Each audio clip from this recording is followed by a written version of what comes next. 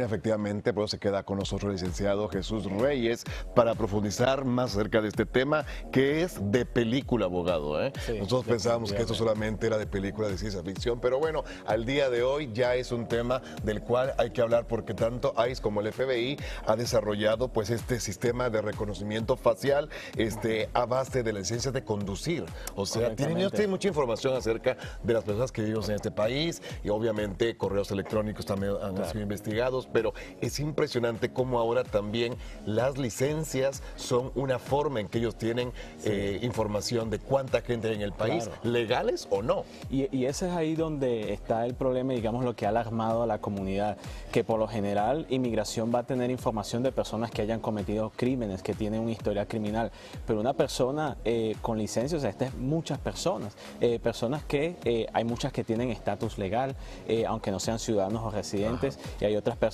que, bueno, desafortunadamente quizás no tienen un estatus, pero hay ciertos estados que sí le proveen a estas personas las licencias, y es ahí donde pienso eh, está la mayor preocupación.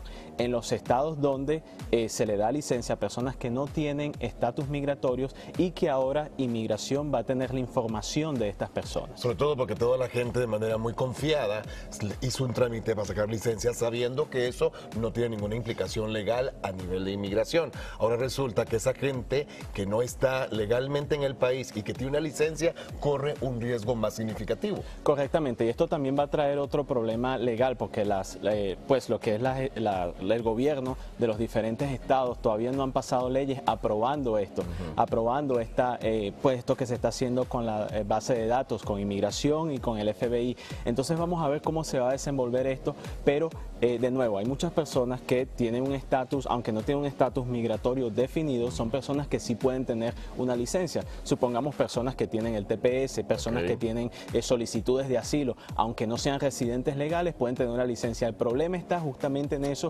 esas personas que no tienen estatus, pero que se le ha dado estas licencias. Vamos a ver cómo esto se va a desenvolver. Claro, porque eso todavía no es un hecho, es algo que todavía está en discusión y hay, hay parte del gobierno que se opone a esta práctica. Correcto, y esto es algo que se descubrió. O sea, esto no es una información que fue revelada ah, oficialmente. Esto fue una investigación que hizo la Universidad Georgetown y ellos con sus investigadores pudieron ver que por los últimos cinco años, eh, pues el Servicio de Inmigración ICE con el FBI han estado creando esta base de datos para poder de alguna forma u otra detectar a las personas que no tienen estatus migratorios por medio de la tecnología facial.